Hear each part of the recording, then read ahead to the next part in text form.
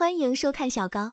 前往中国澳门参加活动，全红婵受到了一个意外的惊喜，那就是澳门大学的校长当场发出了邀请，并且愿意给出全额奖学金，让全红婵来到澳门大学上学。当被询问愿意来吗，全红婵也是表示愿意愿意。全红婵未来会前往澳门大学求学吗？在成名之后，全红婵转学到了重点中学广州实验中学就读，全红婵的户口也转入到了广州。成为了新广州人，而按照全红婵转入广州实验中学就读的时间，全红婵将在二零二五年六月份毕业。这也意味着全红婵该考虑自己大学的问题了。全红婵回去澳门大学吗？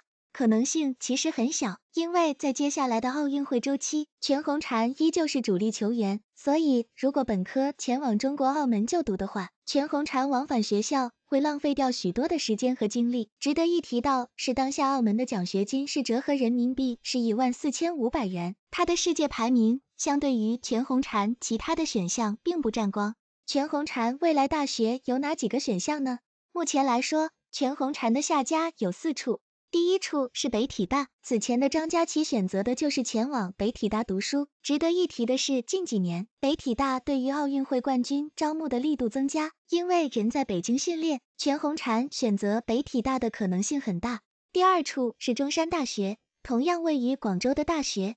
全红婵如今是新广州人，所以中山大学向他发出邀请也是非常正常的事情。如果能够把家乡的奥运会冠军留住，中山大学必然愿意给出奖学金的。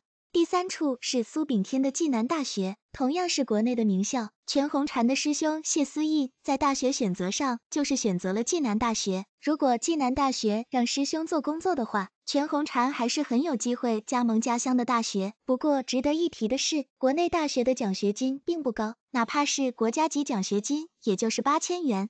第四处是香港大学，为何会有这样的选项呢？众所皆知，郭晶晶的老公霍启刚如今是香港体育的领头人物。霍启刚也一直想要在香港发展跳水。如果未来能够引进全红婵的话，必然能够很好的推动项目的发展。而香港大学这边引入全红婵有两个优势，第一个是郭晶晶可以帮忙，第二个是香港大学的奖学金最高可以来到二十万港币，所以还是非常有竞争力的。